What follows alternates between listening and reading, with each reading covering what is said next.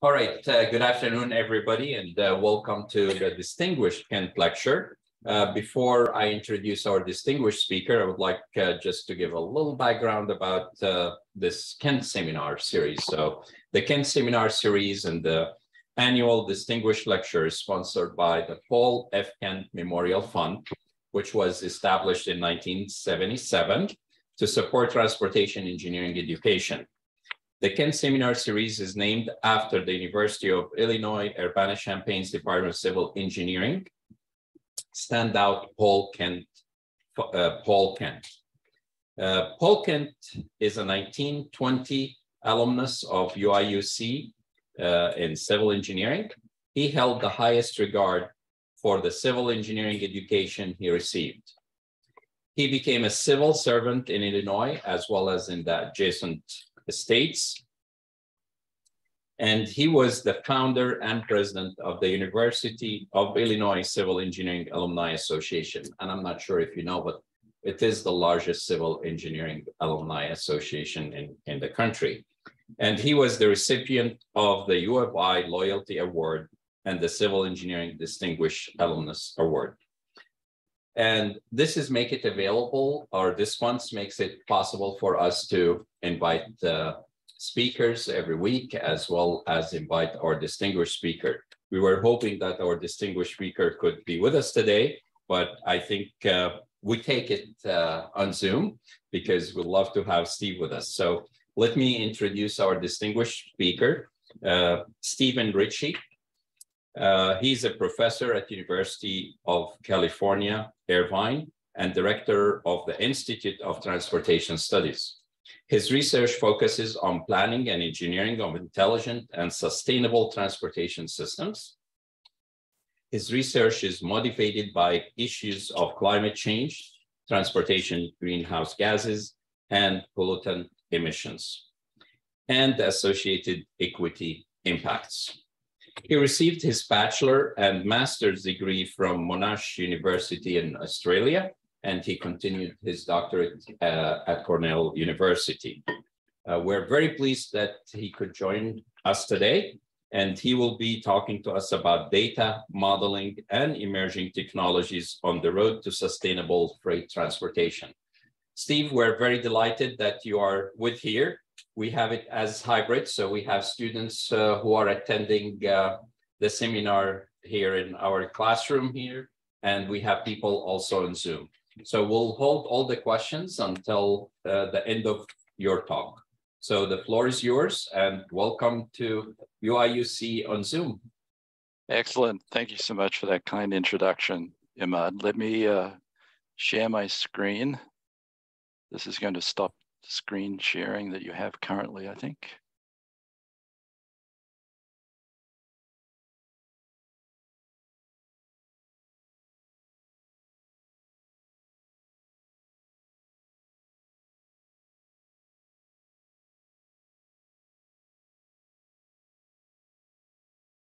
Hopefully you're going to be able to see my titles.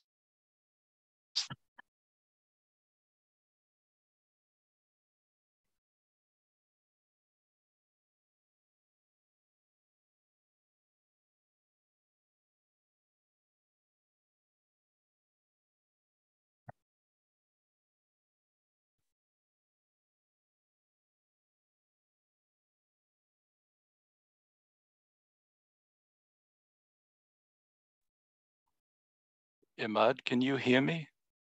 Yes, we can see you too. Okay, I'm going to try to share the screen. It seems to not want to do that.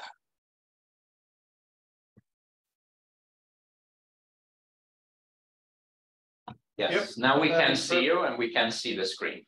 Okay, excellent. All right, should be the title slide. All right, well, thanks so much and good afternoon, everyone. Uh, it's a pleasure to be with you today, even if we're doing this remotely via Zoom. And it is a great honor for me to um, provide this presentation under the auspices of the Kent Distinguished Lecture. So as Professor Al-Qadi said, my presentation is titled uh, Data Modeling, Emerging Technologies on the Road to Sustainable Freight Transportation.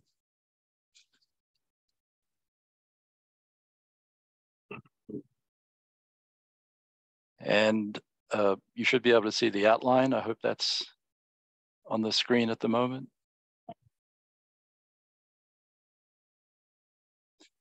Uh, this is not going to be a heavily technical presentation, though I've provided some technical references to our work in a final slide.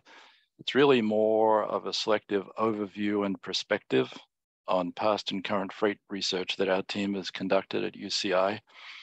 I'm going to begin by describing the importance of freight transportation and suggest some issues that I believe have led the public sector in particular to devote fewer resources to freight versus person transportation planning and infrastructure investment. I'm going to touch on some emerging technologies and innovations, especially in the area of digitalization, uh, that are now helping to move us forward and provide a, an overview really of some recent projects that have been quite impactful, including the California Truck Activity Monitoring System and a new uh, initiative that we're developing, which we're calling the Freight Mobility Living Lab, which is exploring a number of technologies, including LiDAR and uh, automated license plate recognition.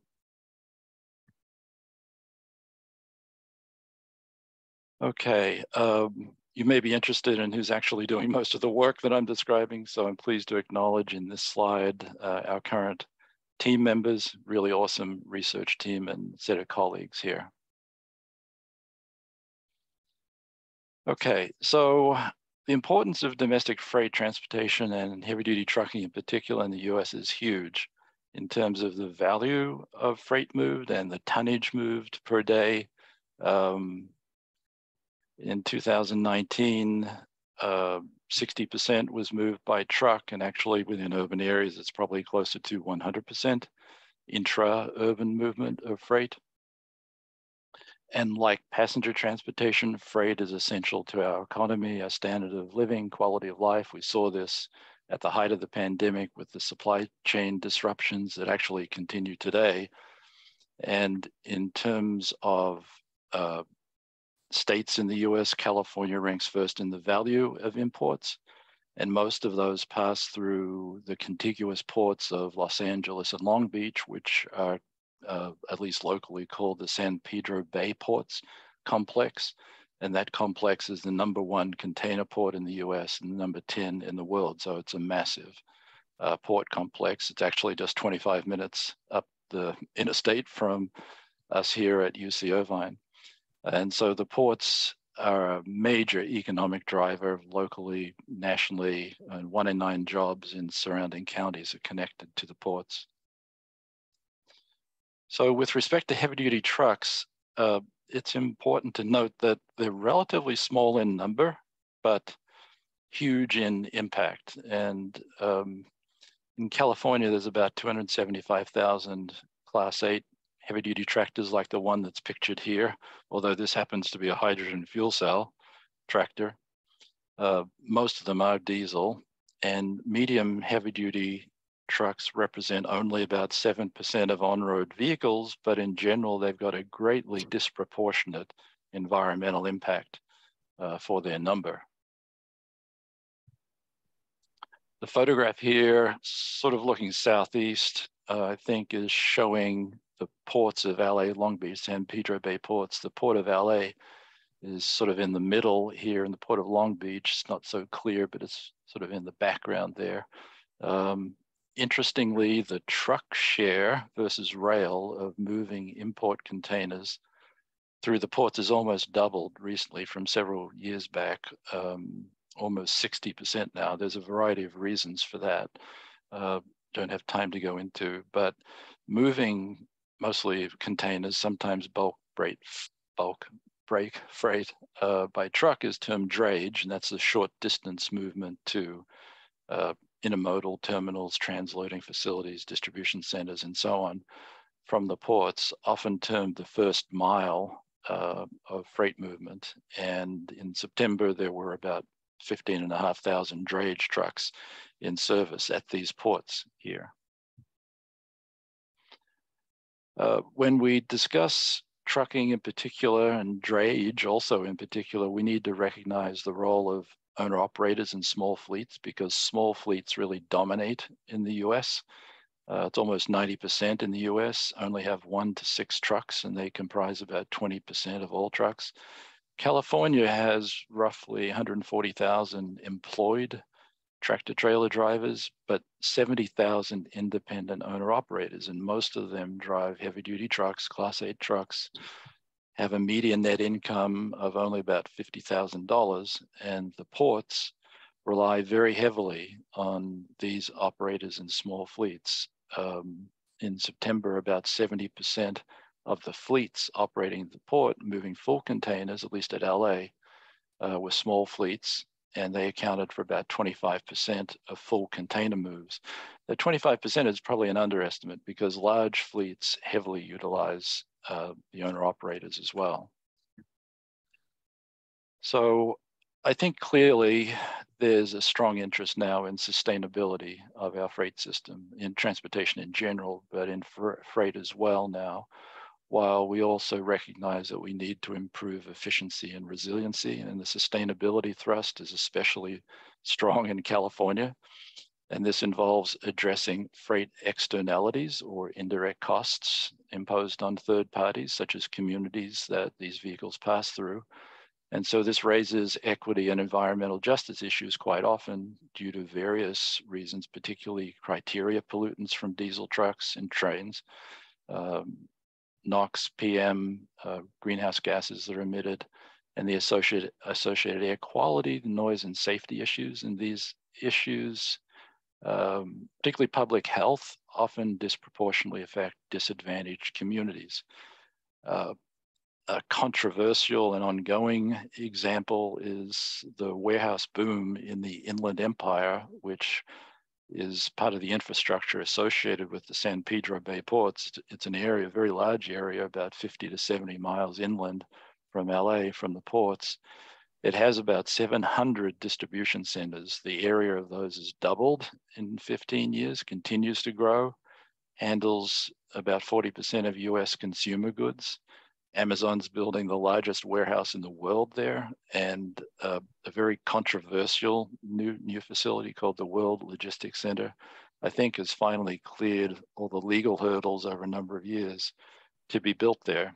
Uh, some 40 million square feet, and of course will be serviced by a very large number of heavy duty trucks from the ports and from other facilities. And this area has many disadvantaged communities. And um, as I mentioned, a great deal of controversy associated with these developments, although the jobs there are sorely needed. So it's also quite apparent, I think, that in many instances, perhaps until recently with some of the uh, recent leg uh, federal legislation, that there's been quite limited attention and public sector resources devoted to freight versus passenger transportation. Um, one example out of many is that in California, we have 12 public marine ports, including the largest, which is the San Pedro Bay ports, which also is actually losing market share to other US ports, partly because of the environmental constraints uh, its operations face. But California has no meaningful maritime policy. There's no entity that's organizing or advancing um, the freight interests of the state or the various other maritime stakeholders. One area where California does lead, I think, is in environmental policy and sustainability. Um, and a particular case in point, a notable one is the second bullet here, the Advanced Clean Fleets Rule, which the California Air Resources Board is now enacting, will require 100% zero emission drayage trucks by 2035 and all heavy duty vehicles to be zero emission by 2045.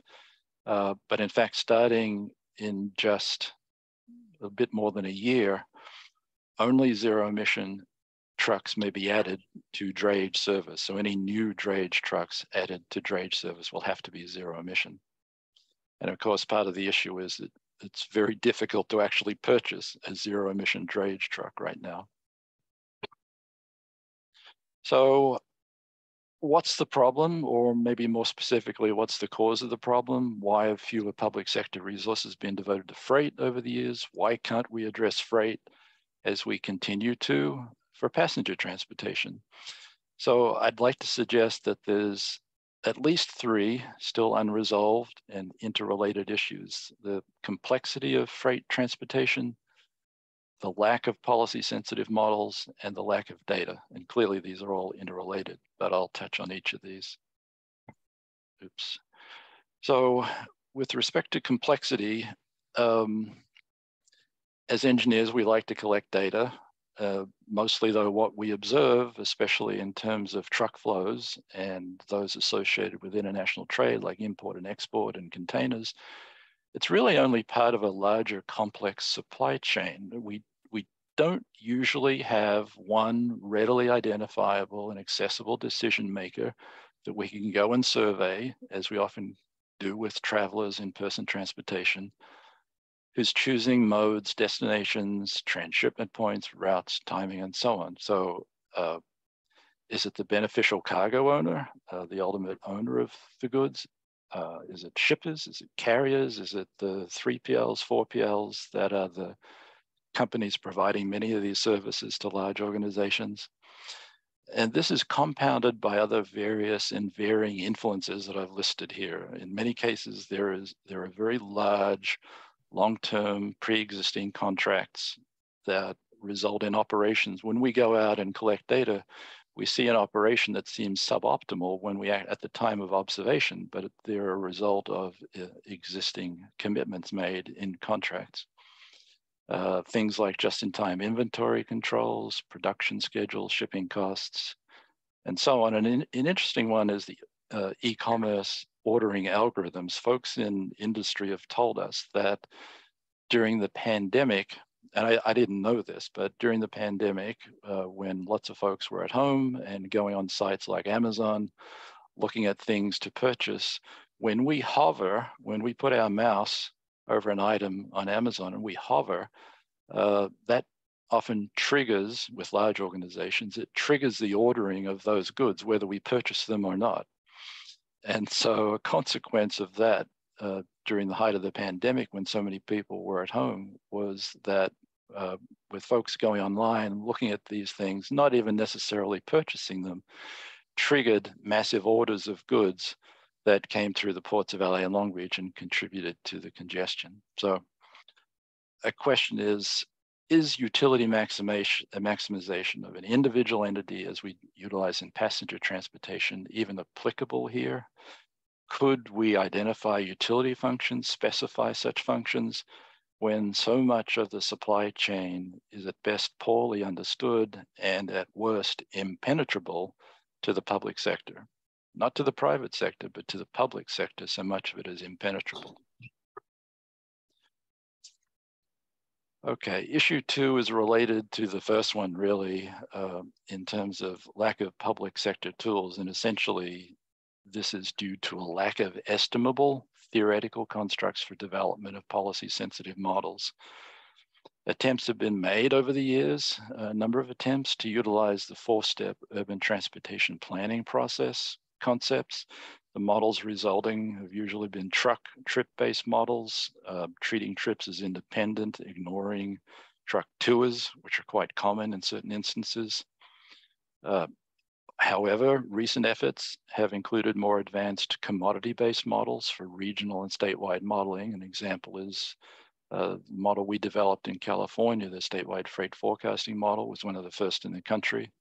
And most recently, agent-based approaches are starting to be explored in freight as well as in passenger transportation. Uh, two examples here, Monique Stinson at Argonne National Lab. I think the link I provided is to a seminar at ITS Irvine, and then Matt Roorda at, at Toronto. Uh, probably, obviously, uh, data is a huge issue and uh, rather the lack of it. And there's a persistent lack of publicly available data, even through non-disclosure agreements. The data, freight data are usually privately held and proprietary. There's usually an unwillingness to share for those reasons. And I included a recent article that was online in Fortune magazine that sort of exemplifies this. Um, in some cases, you can purchase privately held data, but it tends to be very expensive. And observable available data are typically only truck counts, uh, not commodities or shipments, but even truck counts uh, by public agencies like Caltrans, and I'm sure other DOTs, are often so limited spatially and temporally and so unreliable and outdated that they're really not useful. And I think Caltrans and CARB would be the first to admit that they have little accurate data, uh, um, an idea of current heavy duty truck utilization of the state highway network. But as engineers, to assess the success and impacts of changes that we may be recommending, uh, one really has to be able to measure the system outputs of interest. So we believe, and state agencies in California uh, tend to agree that at a minimum, there's a basic need to understand at least commercial vehicle activity and having real-time continuous truck activity data for different truck types and vocations is a basic logical and first step for a variety of the reasons that are listed here.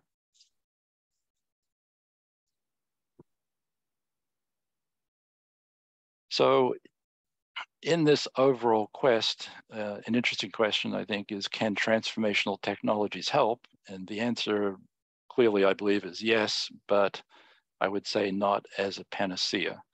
Uh, we know that technological innovation in transportation has fueled the dynamic growth of the US and other countries. We're now well into the 21st century, and we're experiencing another revolution in uh, mobility, largely perceived to be in the passenger side of transportation, but this revolution, uh, I'd suggest, is fueled by at least two uh, worldwide forces. One is the decarbonization of transportation through policies uh, and regulations to address climate change largely. And the other is the private sector oriented uh, digitalization of transportation um, through advances in communications and real-time sensing technologies that we've basically all embraced. So uh, I'm just going to fly through these. These are some examples of digitalization, some key trends in uh, digitalization. Time doesn't permit going into these further, but uh, the first is ubiquitous computing because computational devices are all around us. Uh, we have the Internet of Things, which is connected and smart everything, basically, uh, developments in AI and machine learning, the datafication of our world, uh, so-called, and I stress, because I'm going to uh, dwell a little more on the second bullet here, advanced sensors that collect data that we couldn't previously collect. And then the fifth is uh, cybersecurity and digital trust. in terms of applications in supply chain and freight transportation, we're seeing development uh, in a number of areas, um, applying digitalization developments. I mean, zero emission on the decarbonization side, zero emission heavy duty trucks and cargo handling equipment, for example, new refueling infrastructure, and then digitalization, autonomous trucks, robots, drones, uh, deploying, as I mentioned, the sensors and AI and edge and cloud computing. Uh, an interesting new concept that could be valuable for small fleets is truck the truck as a service concept, which is basically an all-in-one monthly leasing cost for a zero-emission heavy-duty truck. It's maintenance, but also unlimited charging. So a small fleet, for example, would not have to worry about uh, acquiring charging infrastructure we are seeing some development of so-called digital logistics corridors. One example is at the Port of Long Beach with Amazon Web Services, so-called supply chain information highway. And then, as I mentioned, advanced field sensors and the algorithms that are necessary to go along with them for high granularity data and analytics for public agency planning and engineering. And I'm going to mention a little more about the uh, Caltrans truck activity monitoring system that we've developed. So heavy duty vehicle attributes though are highly variable. Uh, there are multiple uh, classification systems and they sometimes have different definitions by agency. Um, the traditional one is sort of FHWA axle configuration, um, gross vehicle weight ratings, and most recently body configurations of tractors and trailers that we've developed. Uh, different fuels, different vocations like drayage, uh, long haul, short haul freight, refuse, construction, transit, and so on. Uh, different commodities carried, different age, which usually means or correlates with different engines and emissions, um, different power equipment and energy consumption, large, small fleets and activity patterns, whether they return to base at night for, for example, charging for zero emission and the communities they go through. And this TAM system, I think, is an initial uh, cost-effective step in addressing some of these needs. So uh, you can probably tell we're really into trucks. Uh, there's no such thing as a typical truck, really. These photos are meant to demonstrate that. These are all five axle tractor trailer combinations, uh, but they have quite different body types and vocations for the most part. And the TAM system uh, that we've developed, as opposed to focusing on traditional axle class surveys, we uh, it was developed to try to um, classify tractors and trailers by their body type, as well as provide truck weights from weigh in motion sites to provide uh, additional insights into things like vocations. Um, and in some cases, the goods carried because you can identify the industries, and with containers, you know they're probably having an origin or destination at the port. Um, and was also developed actually to help validate the um, California freight forecasting model. So TAMS, as I said, it's a heavy duty vehicle classification and counting system.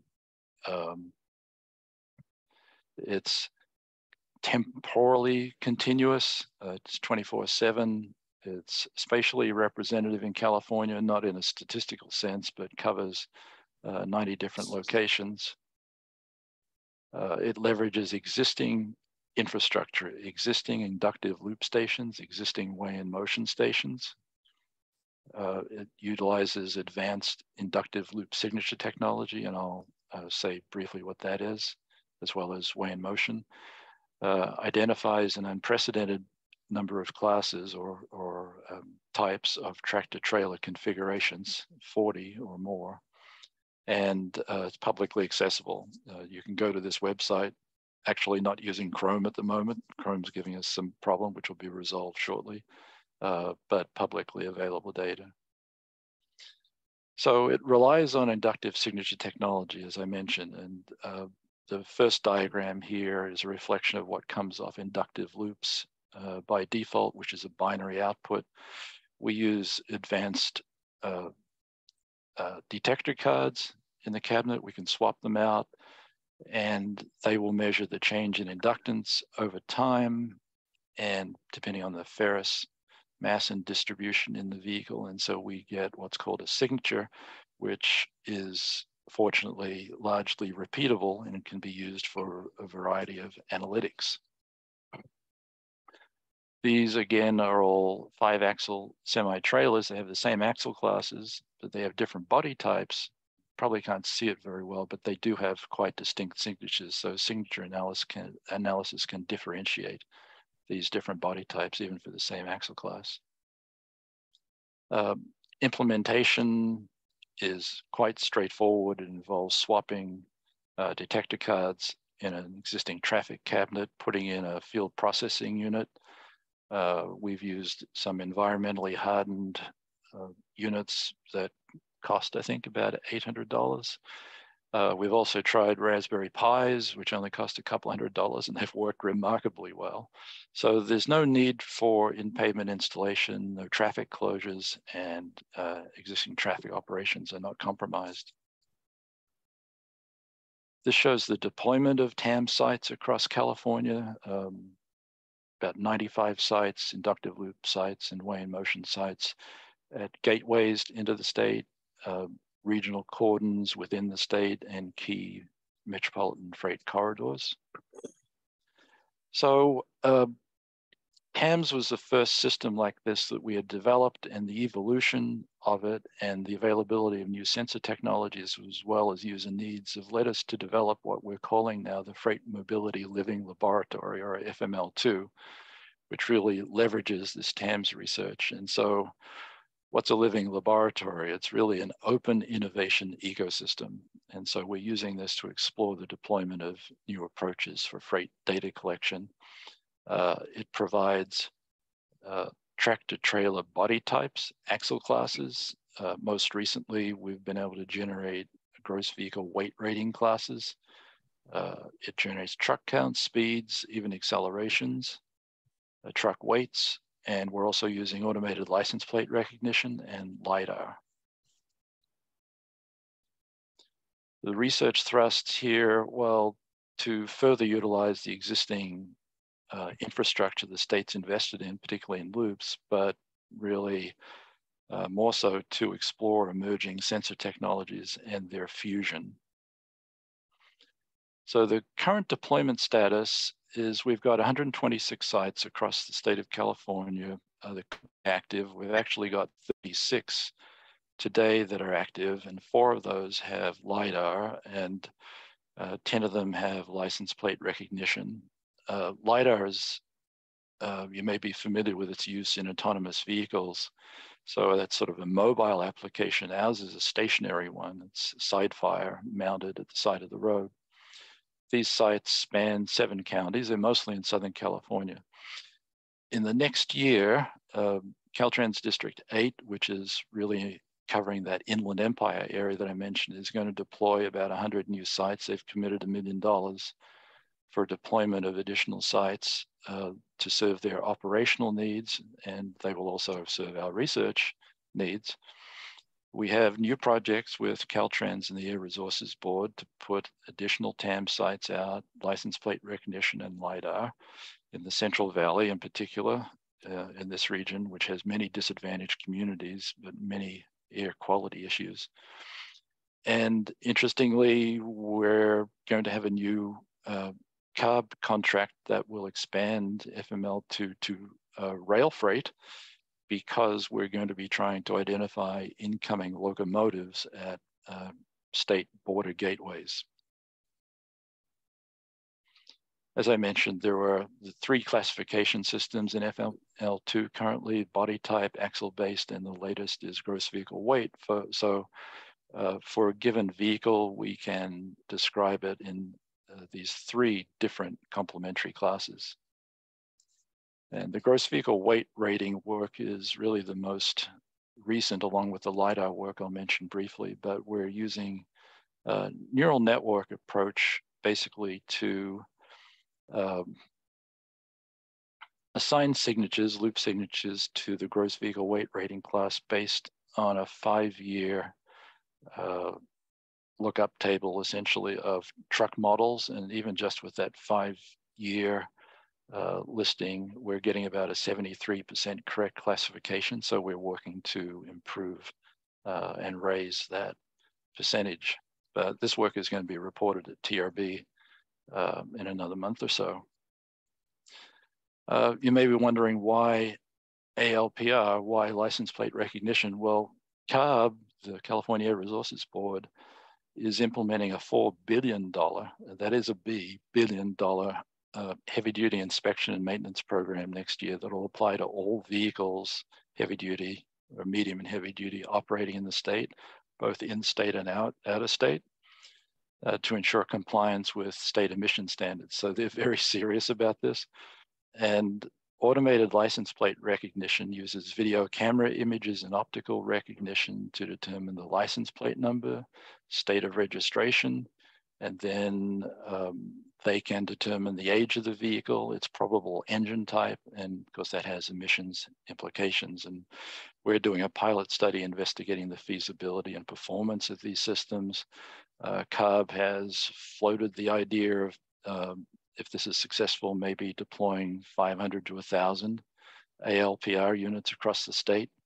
Uh, there are privacy issues that are raised with this. Whether this would be publicly acceptable, I don't know, but uh, it's certainly a very interesting uh, approach. I mentioned we're also using stationary LIDAR. We're really excited about this. Uh, LIDAR is an acronym for light detection and ranging. And basically it's a laser-based system. Scans the field of view, the time it takes for light to return to the receiver determines the distance and creates a so-called point cloud for points on the surface of the object. The advantages of LiDAR are uh, there's minimal environmental influence with LiDAR versus video. The cost currently is quite high. Uh, it's debatable whether it's as high as video, but the potential there is for much lower cost as the units uh, are produced in a solid state format and probably will be much longer lived and more reliable. And there's a future, terrific future promise for a variety of traffic sensing applications with LiDAR. Okay, this is um, some photos of one of our installations in FML2 uh, on Interstate 15 near the Nevada border between Los Angeles and Las Vegas. The top right shows a Velodyne LiDAR unit. This is only a 16 beam unit, which is relatively uh, low resolution. 128 is about the highest, and we're really using 16 and 32 beams, so not the highest resolution. It shows the ALPR camera. Both of these are mounted on the pole here. Uh, the weigh in motion sensors are in the pavement and then the inductive loops are in the pavement there too. Okay, this is um, a recording. Hopefully you'll be able to see this on the projector in the room, but it's a recording from Interstate 10 near the Arizona border showing a video feed in the top left, uh, the live LiDAR uh, stream in the bottom, and then in the table showing, in at least in the box, within the green box, the body classes, real-time body classes, um, and uh, axle classes that uh, correspond to the vehicles. So these are the westbound lanes, trucks here are in, in lane two. And so we're getting real-time classifications just to demonstrate the system. So there's just one LiDAR unit here, and it's primarily um, gathering data from the truck lane here. We are getting data from the other side, but obviously there's there can be occlusion issues uh, in this case with just one LiDAR unit that's side fire. But the primary interest is in this one lane in any event. Okay, we're also uh, working on enhanced vehicle trajectory estimation from the LiDAR point clouds. And the top exam, the top um, image here is a single frame from a LiDAR point cloud. And you may be able to make out the tractor trailer is, is here in the image, but there's lots of background noise. And so background subtraction is attempting to get rid of all the background noise and result in a clearer image of the vehicle, which is shown in the lower single frame of the point cloud. Then we try to reconstruct the image by taking multiple uh, frames of the acquired point clouds for each truck and combine them to get a denser point cloud representation. So these are single frames when combined can get a much uh, denser representation of the vehicle. This is an example for um, a tractor with a single tank trailer. Here's a couple of the uh, individual frames. This is a top view as much as one can get from a more or less side view, uh, side fire LiDAR, but it results in this image, which is much denser and much clearer.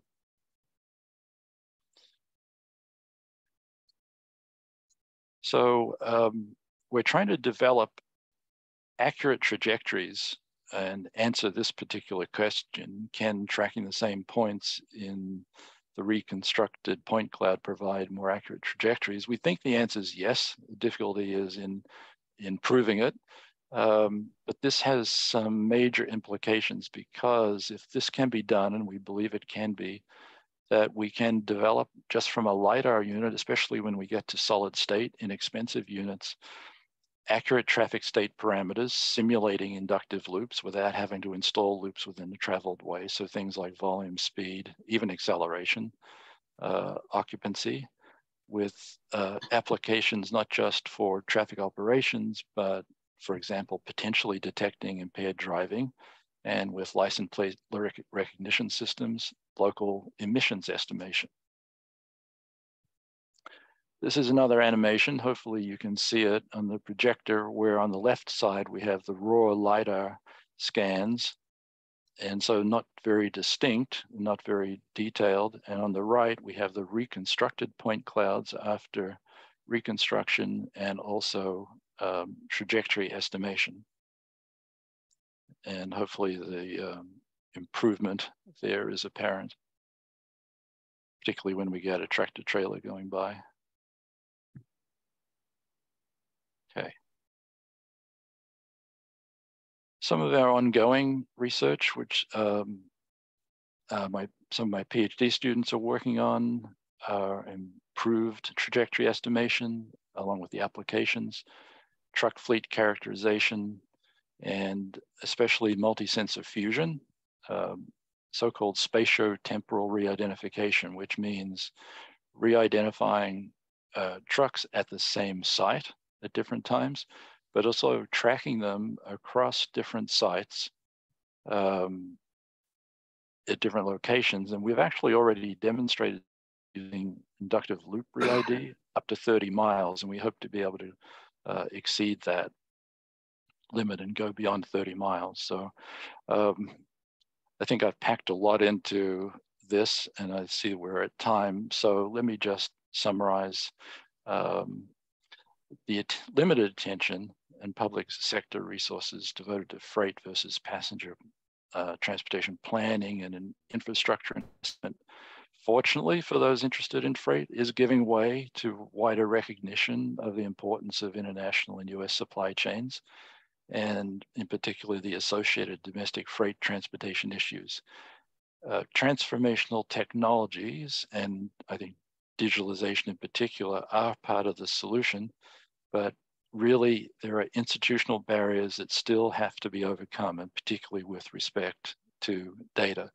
There are moves in that direction, and some of them are associated with the ports. Uh, we do see this in terms of development of so-called freight villages in air freight in other countries. Uh, they tend to be associated with particular carriers and particular routes but uh, it is beginning to happen. And I think the recognition, even within the private sector, that this is important, uh, is it is starting to be recognized. So uh, FML2, our Freight Mobility Living Lab, we believe is cost effective and it's a scalable system. It's valuable not just to researchers, but to practicing engineers and planners and policymakers. We're continuing to work on FML2 and for those of you who may be graduate students in the audience that are looking for research topics, uh, theses and dissertations, uh, there are really many exciting, impactful research challenges in this area. And I mentioned our Freedom National UTC proposal that Professor Al-Qadi has led. Um, I think this is the title page hopefully, and we're optimistic that this will be funded. Uh, lots of exciting opportunities if it is to participate in this, and hopefully we'll get a positive decision within the next couple of months. And uh, my last slide has some of those references that I mentioned uh, if you're interested in following up there. So thanks so much for your attention, and um, that really ends my presentation.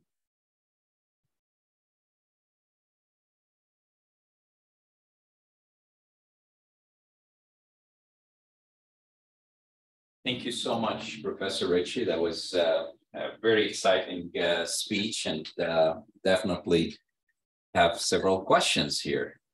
I do have some, so I'm going to start with you guys. Javier? Professor Ritchie, I was wondering if you could elaborate on why drayage is in increasing and maybe tell us more about why we're not using rail as much. What is driving that? Can you elaborate a little more? Yeah, Javier, this is a great question. Um, my understanding, and this, uh, you may have colleagues in the audience that know far more detail about this than I do, but I believe part of the reason, a big part of the reason, is the inland yards um, that Union Pacific and BNSF that serve the ports have become so congested with uh, containers and for other reasons that they cannot run the same, I mean, it serves no purpose to bring more out of the ports to those locations. And so for uh, that reason, among others, I believe, has caused them to reduce the number of trains that um, serving the port, and in particular the on-dock rail, where they move containers from the ships direct to rail. And as a consequence, there's been a lot more truck movement. Uh, I was in a discussion with uh, one of the LA port executives yesterday or the day before, and he said that that is starting to reverse, um, which is probably a, a, a, good thing. And, and the reality is that in terms of the ports of LA and Long Beach, um, you may know that there's there are two major freeways that serve the ports, and one in particular is Interstate 710 uh, there's been a study going on for decades actually about potential expansion of the 710 freeway because of the number of heavy duty trucks.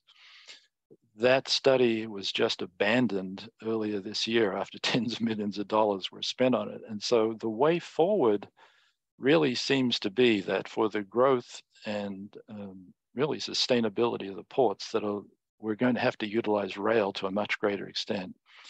There's a project um, or a corridor called the Alameda Corridor. Uh, it's a rail facility, a depressed rail facility that runs from the ports to really the rail yards around LA and, and beyond. Has a capacity of about 150 trains a day, I believe. Uh, until recently, it was running about 50 a day, and I think uh, very recently, with the decline in rail at the ports, is down to the high 20s. I think we're we're really going to have to find ways to um, increase uh, the rail service to the ports. The capacity, at least in the Alameda corridor, is there, but there are proposals for expansion uh, creation of inland ports for moving containers from the ports by rail to inland lo locations as well. So there are a number of strategies we can pursue, I think, but um, moving containers by truck and diesel in particular is really not a sustainable approach going forward. Thank you. Um, other questions? Yes, Angeli. Hi, Professor Ritchie. This is Angeli. Um, I'm just curious, you're creating a lot of data, and if transportation agencies were going to implement this, what is the thought in how they should handle large data sets like this? And also, you mentioned this can be scaled up. What what are some challenges in scaling this up when networks are actually communicating? Interesting question. Um, at this point, we're mostly using edge processing. So the the um, with respect to the lidar, the point clouds are being analyzed locally, and so the features and attributes of the images are being sent to our servers at UCI and ITS at this point. When District 8 uh, deploys their 100 new locations in the Inland Empire, it's, I think the plan is that they will probably still have the data sent to our servers uh, and then transmitted to uh, District 8 as, as they need the data. We haven't really reached a point yet um, where we've had significant problems um, particularly as we're doing more local edge processing. We used to send everything in terms of like the loop signatures, everything to ITS, but where that that was creating problems with some of the Wi-Fi connections that in some locations are not very strong. So uh, I guess all I can say is we haven't really had a problem thus far. I don't think we will in the next year, but there is a potential, as you've pointed out, for this to occur uh, if the system really is expanded, say to a thousand locations or more uh, statewide. And we'll have to address that as it arises. Um, thank you, Professor, for the nice presentation. Um, I was wondering about the database, the the TAMS database that we're classifying the trucks in a different way based on their signature body shapes. Um, maybe I missed it, but what's really the importance or of considering the body shape instead of a conventional classification?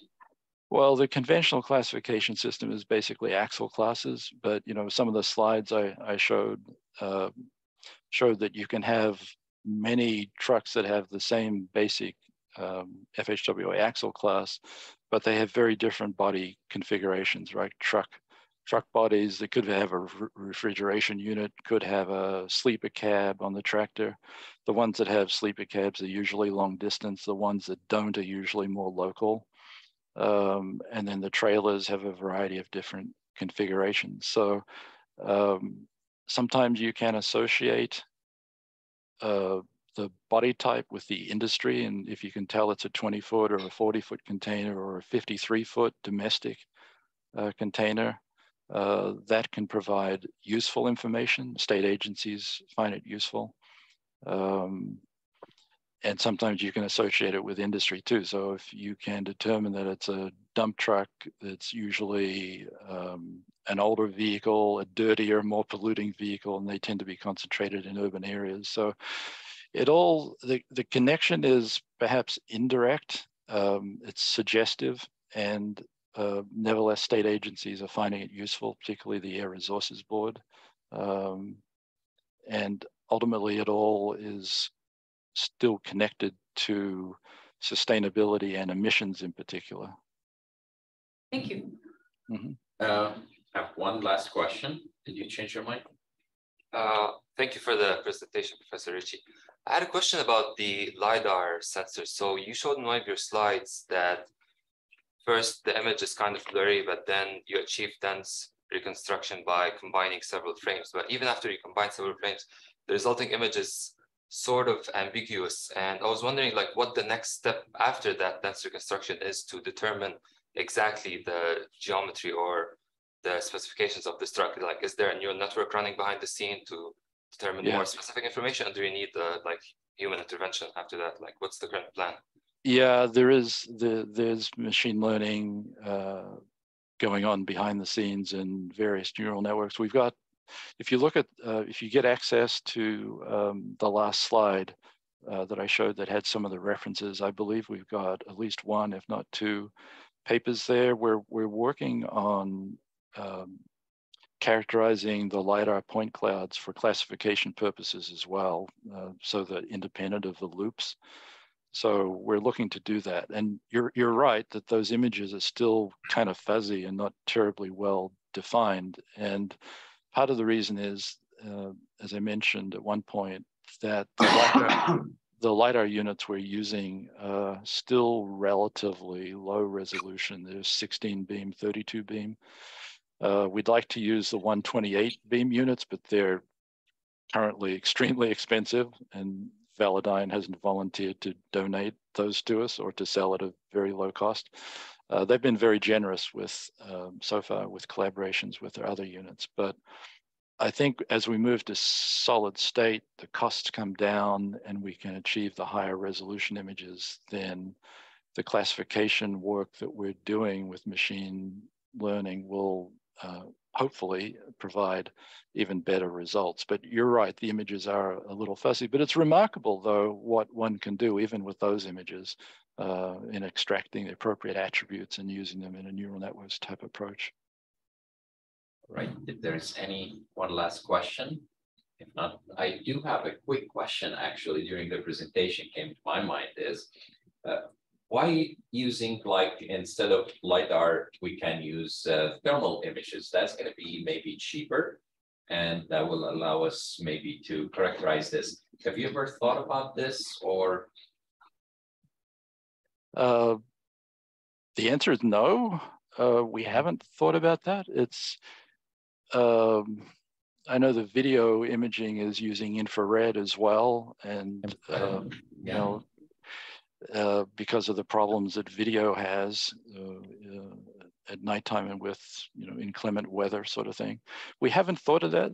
It's an interesting possibility. Um, I'd be kind of intrigued to see if that could also add to uh, performance when we do our data and sensor fusion. Right. So.